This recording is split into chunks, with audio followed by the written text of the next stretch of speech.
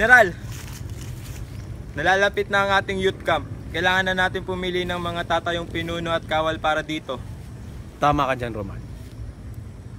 Iipunan namin ni Ruska ang mga kandidato. Naku, General! Ipunin pa ka mo! Eh, wala nga tayong mapili. Wala nang gustong sumama dito sa paglaban sa gerang ito. Alam mo anong gusto nila? Mag-Facebook, mag-Clash of Clans, mag-date, gumalak kung saan saan. Saan tayo maghanap? Ganun ba ka mo? Bigyan niyo akong dalawang araw.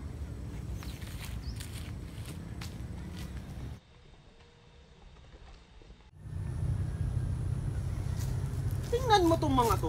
Anong klaseng mga sundalo ito? Hoy, mga kawal! Magsigising kayo. Nandito ang general. Umayos. Nasaan na inyong kapitan? Tanghali po ngayon, General, kaya nanonood po sila ng Aldab. Sumagot ng maayos, yung totoo. Manonood daw po muna siya ng Itbulaga, kaya pwede daw po muna kami mag-siesta. Mga loko! Mga inutil! Sino may sabi sa inyong pwede kayo mamahinga? Sa laban ng espiritual, hindi pwede tutulog-tulog! Kapitan Bernal, basahan ito! Makinig ng maayos. Artikulo 6. Mangagbihis kayo ng buong kagayakan ng Diyos upang kayo'y magsitibay laban sa mga lalang ng Diablo. Sapagkat ang ating pakikibaka ay hindi laban sa laman at dugo, kundi laban sa mga pamunuan, laban sa mga kapangyarihan, laban sa mga namamahala ng kadilimang ito sa sanglibutan, laban sa mga ukol sa espiritu ng kasamaan sa mga dakong kaitaasan. Sa susunod na nakikita ko kayong tutulog-tulog, mananagot kayo sa akin. Inchendes? Opo. Inchendes? Opo.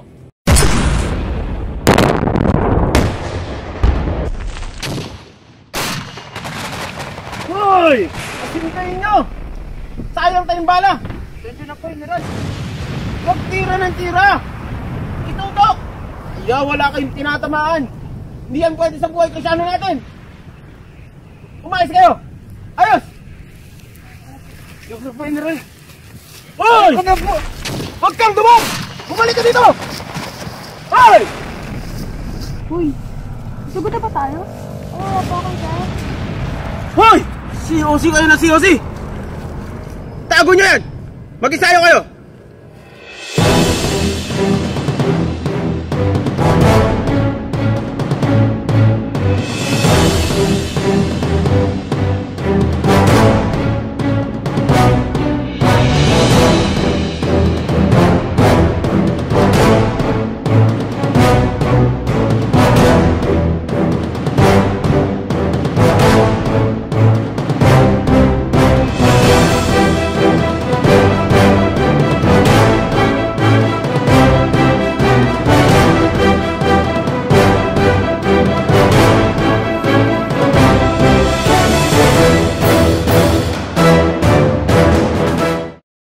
Mga kawal, sa mga nakaraang araw ay matindi ang ating mga pagsasanay.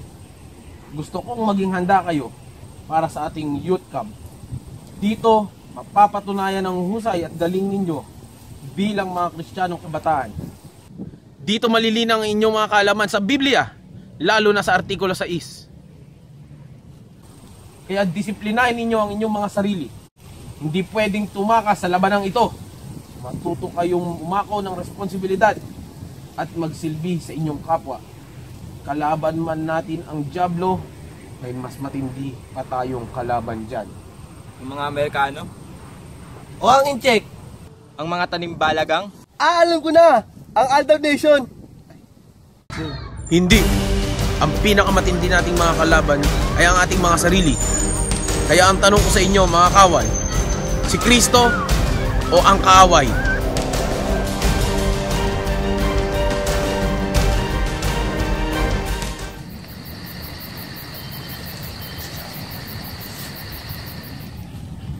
Gandang umaga, Ruska.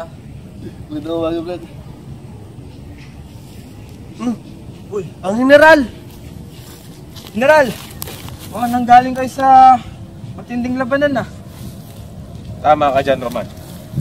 Kaya ako haggard ngayon dahil nakita kong kalagay spiritual ng ating mga sundalo. Walang disiplina. Tamad. Walang debosyon. Walang dasal. Kape, General. Pampakalma. Huwag na, Rums ka. Marami tayong gagawin. Marami din tayong sasanayin. Huh?